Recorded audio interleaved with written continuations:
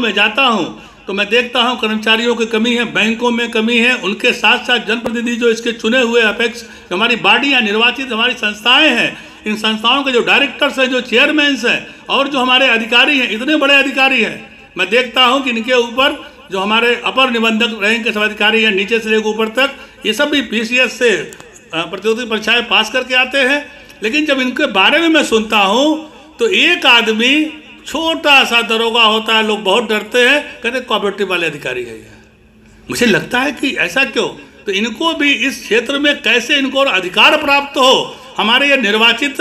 ऐसे हमारे प्रतिनिधियों को कैसे और अधिकार प्राप्त हो, ताकि वह इस क्षेत्र में और आगे काम करें और जहाँ हमारी जगह खाली है। हमारी जो संस्थाएँ, हमारी जो रिक्त पद है मैं जानता हूँ, मैं कभी कहीं जाता हूँ किसी ज़िले में तो एक सौ उन्यासी वहाँ अगर वहाँ पद है तो उसके अगेंस्ट अठहत्तर लोगों से काम चल रहा है। अगर चपरासी कैशियर का काम करेगा, कैशियर मैनेज प्रबंधक का काम करेगा तो कामों में गुणवत्ता नहीं आ सकती, उसमें बहुत तेज़ी नहीं लाई जा सकती। इसलिए, और मैं जब देखता हूँ, हमारे देश के प्रधानमंत्री जी का पहला नारा था कि स्वच्छ भारत, स्वस्थ भारत। ये अच्छा है, हमारे उत्तर प्रदेश के अंदर सफ़ाई कर्मी भी तैनात हैं, शायद उन्हें मुझे पता नहीं, शायद कोई बता रहा था पच्चीस हज़ार रुपये मिलते हैं।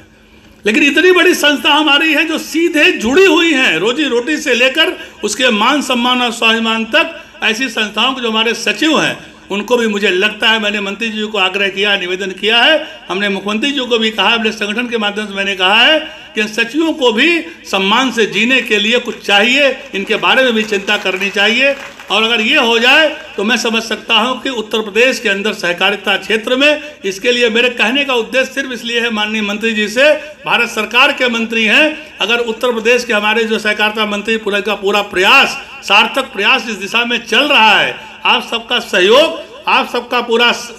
समर्थन प्राप्त हो रहा है। लेकिन इसके साथ साथ मैं ये ज़रूर कहना चाहूँगा कि कहीं ना कहीं अगर ये मिल रहा है, अगर हमें कोई आर्थिक, अगर अगर अवशेष के सहकारिता विभाग को धन दे करके इन जो हमारे सचिव से लेकर ऊपर तक सबको ठीक करने का काम करना चाहिए, इसी आग्रह, निवेदन और विनती के साथ हमारे केंद्र के मंत्री हैं। मैं इनसे चाहूँगा कि सहकारिता आगे बढ़ जाए।